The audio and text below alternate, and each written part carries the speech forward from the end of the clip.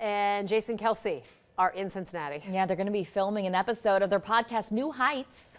Jeremy Rauch's there. Jeremy, oh, the things that could happen there tonight. Maybe a proposal, maybe just some guys having fun. Who knows, right?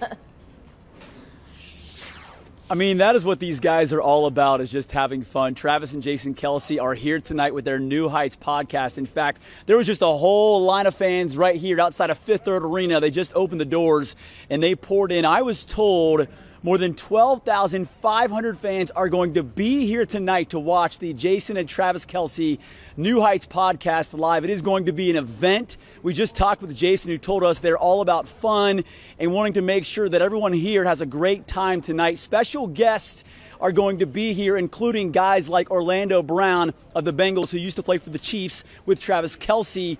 Joe Burrow is going to be in the building tonight. But we just talked with Jason, I said moments ago. Here's what he told me right when he stepped in the room about what it's like coming back to UC.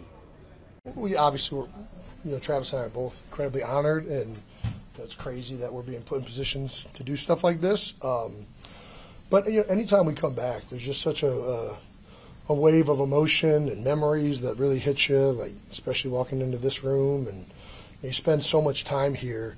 And as a student athlete, you're, you're so invested uh, into the football program, the university. You, are you're, you're, you're, here nonstop, and uh, you know it's such a big part of anybody's career or life um, that you know whenever you come back, uh, it definitely hits you full force.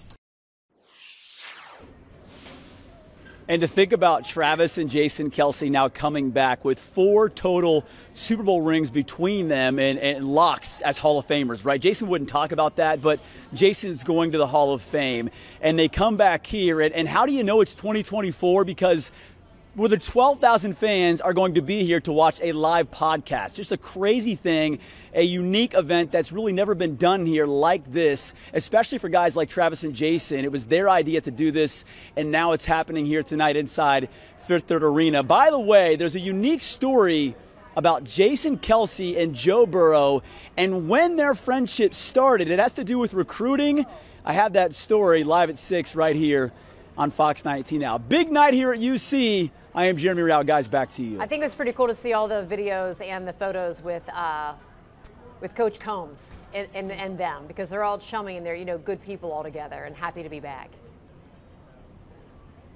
Yeah. By, by the way, Trisha, when we walked out to do this live shot, we were stopped in the hallway by a big crowd of people, and it was Coach Kerry Coombs. Oh, yeah trying to get Jason Kelce to sign an autograph for someone. So Kerry Coombs is always working his angles. He's hanging out with Jason. He was with him last night.